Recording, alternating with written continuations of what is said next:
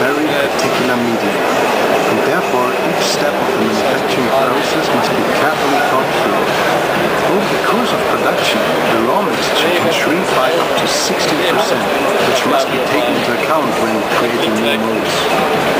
Additionally, it makes a difference if the raw material is cast, molded, or slowed.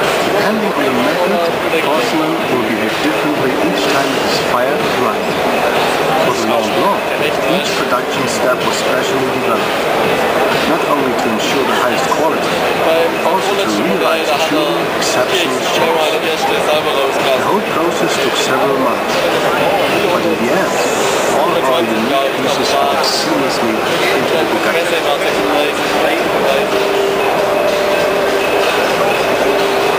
The porcelain detailing of the interior represents jewelry as well as functionality. These details created an enormous challenge to our engineering team as every part